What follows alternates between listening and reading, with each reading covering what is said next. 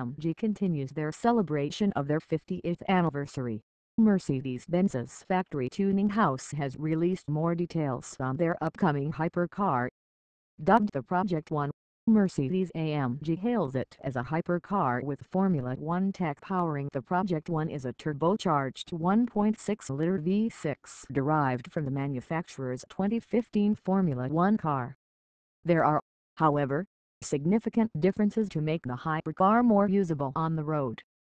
For starters, it has a different camshaft, new pistons and an engine management unit tuned for road use. According to Mercedes-AMG, it idles at 4,000 rpm and revs up to 13,500 rpm. Tobias Moers, CEO of Mercedes-AMG, said that the engine requires a rebuild every 50,000 kilometers.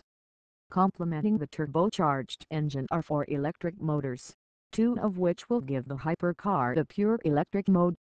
The first motor permanently spools the turbocharger while the second provides more assist to the crankshaft.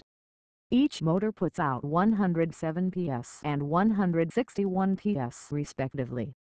The automaker adds that these technologies were lifted straight out of Formula One.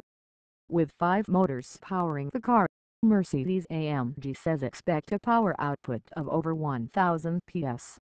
It then shifts via an 8-speed, single-clutch sequential manual transmission. Stopping power is provided by large ceramic brakes on all corners. Keeping the car light will be a carbon fiber tub, along with more carbon fiber to make up the structure of the structure of the Project One. Mercedes-AMG aims of a target weight of below 1,300 kilograms Production of the Mercedes-AMG Project One is limited to just 275 units.